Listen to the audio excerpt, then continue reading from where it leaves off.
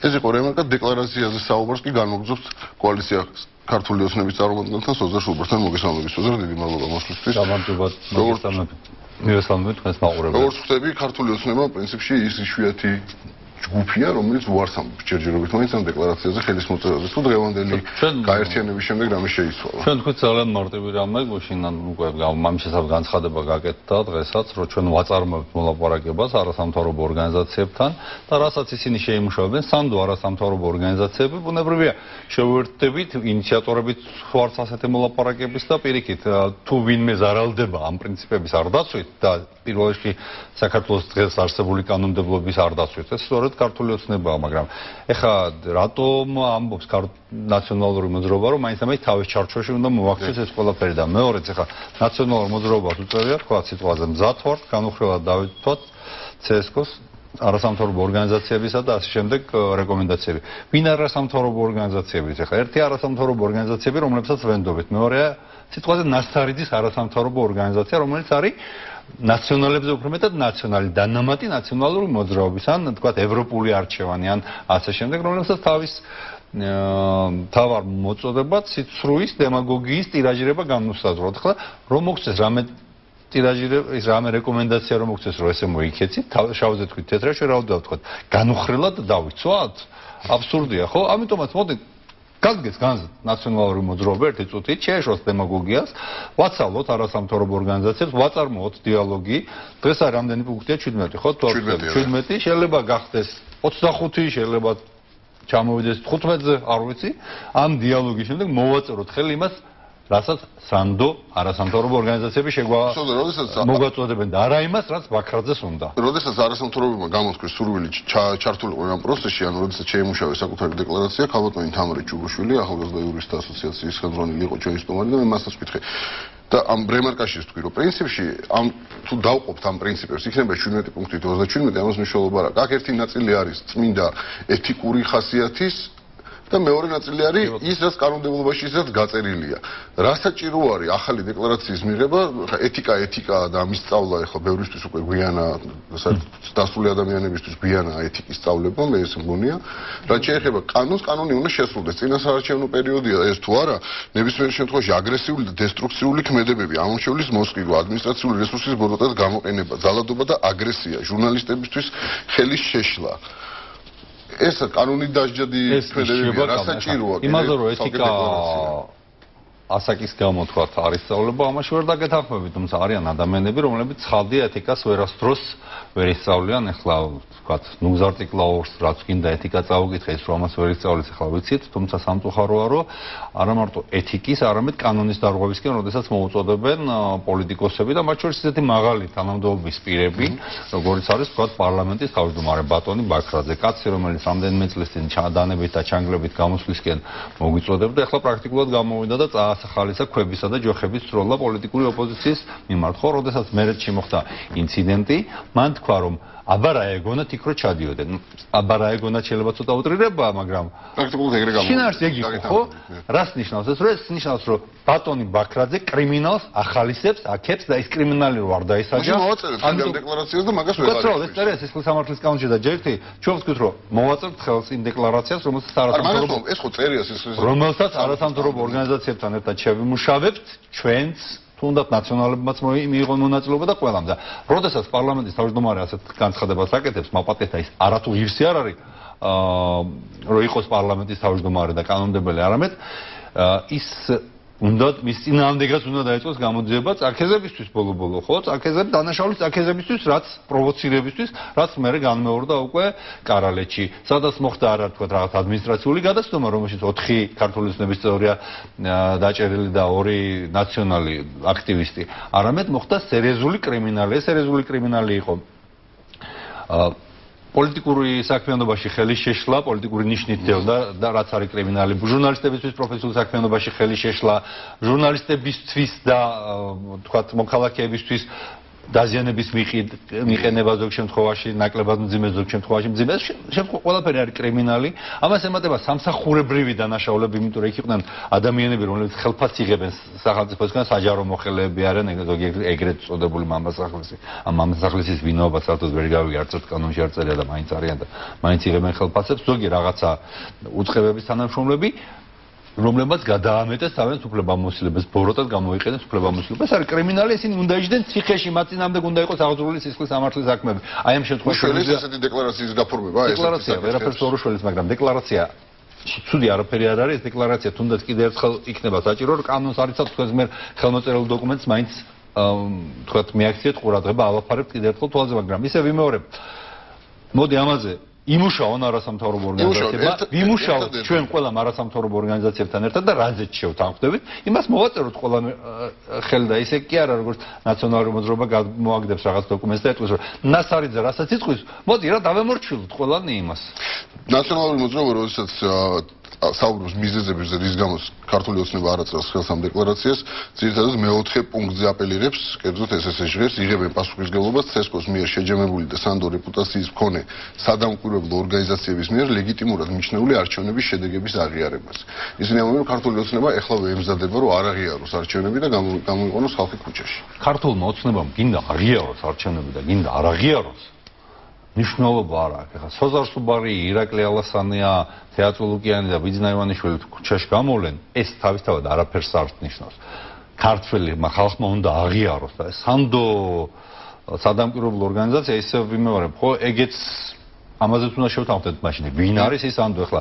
და პირდაპირ ჩავწეროთ ხო ისე ნასარიძეს გულისხმობს თუ ვინმე სხვას რომელიც არ არ არ არის ალბათ სადამკვირვებლო მაგრამ შეიძლება ამის პრეტენზიას გაუჩნდეს და კანონში შეიტანენ პარლამენტს ხო წინ არაფერი არ დაუდგება ხა პირდაპირ გამოიტანენ ახალ კანონს რომელშიც ეწერება რომ ნასარიძე არის ერთადერთი სანდო სადამკვირვებლო ორგანიზაცია. დღეს ასეთ პირობებში ვცხოვრობთ ახლა რაღაცების უტრირებას ვახდენ მაგრამ ეს უტრირება ყოველდღიურად ვაწყდებით. ახლა უბრალოდ ერთ მაგალითს გეტყვი მე არ მე საერთოდ გირჩევთ რომ ეს უტრირება არ მოახდინოს. მართლა კანონის სახე არ მიიღოს ხო ხო არა იღებს კანონის სახეს ახლა აი არ ჭირდება არ ჭირდება ჩემი რჩევა აგე კანონს გეტყვით პირდაპირ. მესტიაში ისევე როგორც თქვა მანამდე სად მოხდა სიღნაღში რაღაც რაიონებში ხელისუფლებამ დაიწყო რაღაც ქუჩების გარემონტება რაღაც სახლები გაარემონტეს ადამიანებს ისე რომ არც კითხეს გინდა არ გინდათ გაარემონტეს რაღაც შენობები ხო? ერთ-ერთი ესეთი შენობა გაარემონტეს მესტიაში რომლის ფლობელი არის ადილარ ჩართოლანი. ეს ადამიანი არის 83 წლის აი სვანეთში თუ ვინმე შერჩა აი შემორჩა ძველი პლეადის დამსახურებული ადამიანი რომლის სახელს თითოეული ადამიანი, თითოეული ქართველი, იქ ცხოვრები ადამიანი, სვანები პიცულობენ, არის ადილარ ჩარტოლანი, რომელიც არ ვიცი რამდენი, ალბათ ერთი 50 წლის განმავლობაში მაინც მინიმუმს ვამბობ, იყო მთავარი ექიმი მესტის რაიონის, რომელსაც გაკეთებული აქვს რაღაც მითხეს ციფრი 7000-ზე მეტი ოპერაცია გადარჩენილი აქვს უამრავი ადამიანის სიცოცხლე. მესტიაში ტრავმატოლოგია მაღალია ეს რომ. აი ეს ამ ადამიანს ეკუთვნის ეს შენობა, მაგრამ მისი შვილი არის დღეს ვინც დღეს კი არა ორი დღის წინ ვინც მაჟორიტარ კანდიდატა დავასახელეთ მესტიაში ვიქტორ ჯაფარიძე ემის ბიზნეს პარტნიორი. აი როგორც კი ბიზნეს. ვიქტორ ჯაფარიძის სახელი გაიგეს სასწრაფოდ მიუვიდა ამ ადილარს წერილი რომ. და პარალელურად წერილი წერილი წავიდა სასამართლოში. აი შენობა რო გაგირემონტეთო ამ შენობაში მესტიის მუნიციპალიტეტმა დახარჯაო 500000 ლარიო და იმ 500000 ლარი რახან დავხარჯეთო, ეხლა ან სასწრაფოდ გადაგვიხადე, ან გაგიყიდით შენობასო, წაგართმევთო და პარალელურად ოღონდ ოღონდ აი მართლა არ ჯერა.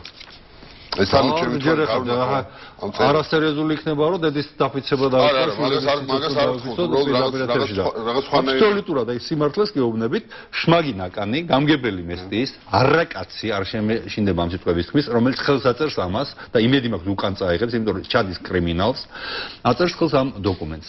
და ეს ადამიანი თელი ქუჩა გაარემონტეს ხო რამდენი თელი ქუჩა კი არა თელი მესტის ცენტრი გაარემონტეს და ალბათ ხვებსაც ეხლა თუ აი არასამთავრობო ორგანიზაციები წერენ რომ თანასწორობის პრინციპით. ხო მაშინ ორი ვარიანტია ხო? ან ეს ხელთავისი წერილი უნდა წაიღოს უკან ბატონმა ნაკანმა ან თელ სვანეთს თელ მესტიას უნდა იგივე მოსთხოვნა რომ სასწრაფოდ გადაეხადან ის ფული და გადავიდნენ მერე სიღნაღზე და კიდე არ ვიცი ბათუმზე და კიდე სად გადავლენ და თანაც საქმე ის არის რომ ადილარ ჩართულას ამ შენობის ფლობელს არ არის ხელმოწერილი არანაირი დოკუმენტი არც მესტიის გამგეობასთან არც იმ ფირმასთან ვინც გაარემონტა. ეს არის ორ პირ შორის დადებული ხელშეკრულება.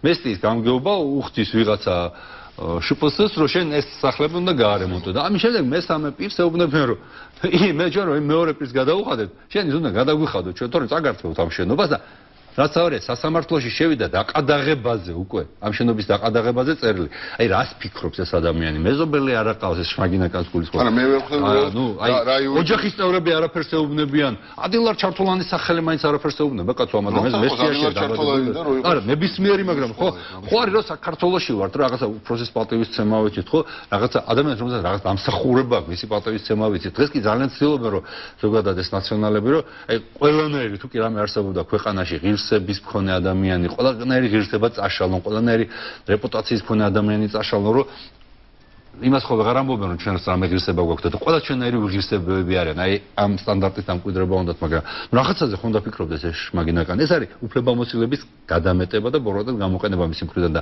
აუცილებლად დავსვამთ მისი პასუხისმგებლობის საკითხს პროკურატურაშიც, მიმართოთ საერთაშორისო ორგანიზაციებსაც და ამ ადამიანს ეს ადამიანი აგებს პასუხს ამ ურჩევნია თვითონ გაიტანოს სასტრაფოდ ეს თავის მიერ გაიწვიოს უკან თავის იურიდიული კაზუსიც აღარ არის უბრალოდ. კაზუსი არ არის ეს არის დევნა ეს ეს ეს აღარაფერი აღარ არის ეს არის როგორც ლუდოვიკო ლუდოვიკო რომელიღაცა ამბობდა რომ საფრანგეთის მე ვარო რა ეს კანონი მე ვარ და კონსტიტუცია აღმოჩნდა ძალიან უსიამოვნო ვითარებაში რბილად რომ ვთქვა უსიამოვნო ვითარებაში მე რომ რეალურად ახლა ეს ძალიან სასაცილო სასამართლო საქმე ხა ამის დაკმაყოფილება სასაცილო სასამართლო საქმე არის ყველა ის მილიონიანი ჯარიმები რომლებიც აქამდე სასაცილოზე მეტი არ არის. კაცო მაეს მაესტროს ეუბნებიან რომ თებშები არ დააყენო და თვითონ რო თებშებს თქვა დღეს რაღაც ფირმები რო არის რომლებიც აქამდე საყენებდნენ თებშებს იმ ფირმებს თუ დაურეკავთ და დღეს დაგიყენებენ თებს როგორც კომერციული სტრუქტურა ხო იმ თებში ამორთულია მაესტრო და მეცხრე არხი. ანუ პირდაპირ პროგრამაში ერყავთ იქ, რომ მაესტროს და მეცხრე არხის ვერ იჭერს.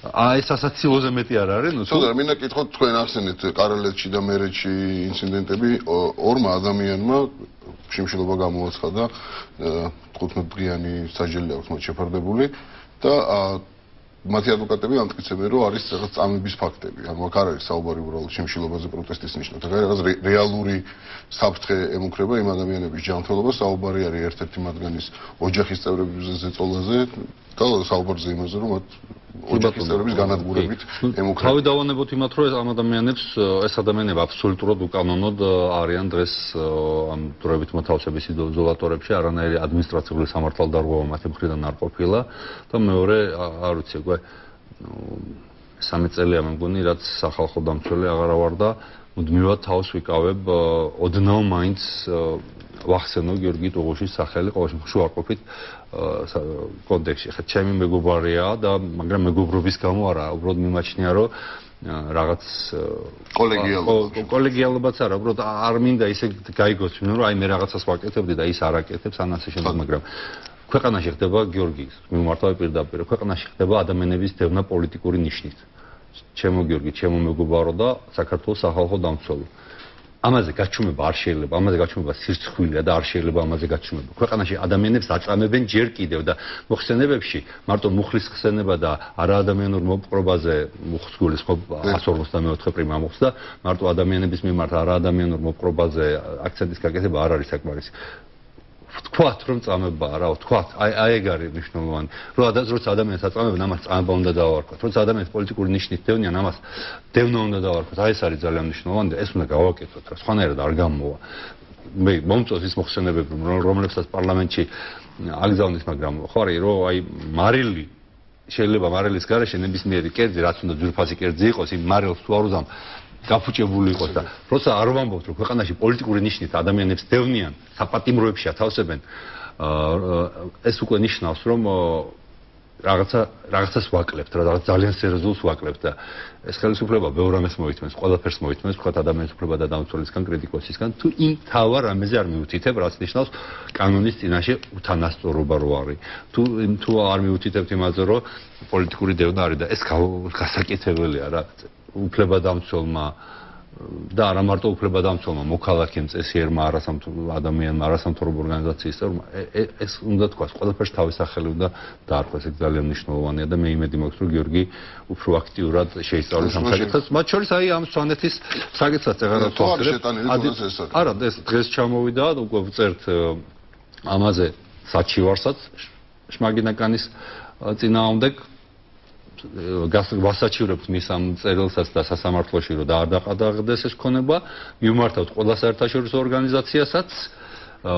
ეს სხვათა შორის არც თუ ძალიან ირიბად და პირდაპირ ეხება არჩევნებს და შესაბამისად გიგაბოკერიას კომისიასაც მიმართავთ და მიმართავთ სახალხო დამცველსაც ბუნებრივიაც რომ ეს არ არის ის საქმეები რომლებიც შეიძლება ყურადღების მიღმა დაავტოვოთ თვითონ ჩვენ მათ ჩვენთაგანმა ძალიან დიდი მადლობა სოზო დავიწყეთ დეკლარაციიდან მაგრამ თქვენ ისეთ ადგილას მივედით რომ პრინციპში ისეთ რა უბრალოდ საოცრად სარება ხდება ქვეყანაში მარტო ადამიანის უფლებებზე არ არის აი ხლა რასაც ამბავს მოყვები ადამიანის უფლებებიც არის და ქვეყნის ტრაგედიას და აი მიშას საქართველოს შეგვიძლია ამ ამბავს დავარქვა. აი მიშას სააკაშვილი საქართველოს. დღეს რუსთავში ვიყავით შეხვედრაზე მე და ზვიად ძეძიგური, უბრალოდ ზვიად ძეძიგური და მე, იმიტომ ის არის კანდიდატი მაჟორიტარობის და ძალიან კარგ საქმეს აკეთებს. ქალბატონი მოვიდა რომ მომაც ფეხზე ძლივს იდგა 450 გრამი სისხლი ჩააბარა. კარგად ვერ გავიგო 28 დოლარი მომწეს ამაში იმისთვის რომ შვილი გაეშვა სოფელში ბებიასთან. სოფელში რომ რუსთავის აუტანელის სიცხისგან გაერიდებინა მცირეწლოვანი შვილი და ამის საკუთარი სისხლი გაყიდა. ვიძნა ივანიშვილი ხშირად ამბობს ხოლმე რომ აი გასაყიდია აღარაფერი აღარ დაგვრჩა ცოცხალი ძალის გარდაო რა მივდივართ უცხოეთში იქ მუშაობთ და იმით ვარჩენ ქვეყანას და უკვე გადავედით იმაზე რომ სისხლს ყიდიან იმისთვის რომ ბავშვი გაუშვას სოფელში. აღარაფერს ვამბობ რომ შეუძლებელია ეს ადამიანი ბავშვს ვერ უყიდის ციგნებს რაღაცა სწავლის გადასახადზე და ჯანდაცვის გადასახადზე ხო ლაპარაკი ზედმეტი. აი საკუთარი სისხლი 450 გრამის სისხლი მე რომ ამომიღონ არ არის შეუძლებელი მეტად რომ შეიძლება თუ ხალე ვერ გადაურჩა. ხალბატონი რა ციფრები ვერც დავამახსოვრე ისე შეუძლებელია ამ ამბით რომ რამდენიზე დაეცა წნევა და როგორ გამოიყვანეს ამ მდგომარეობიდან რო ყვებოდა რა. დიდი მადლობა სუზო სუბარი იყო ჩვენი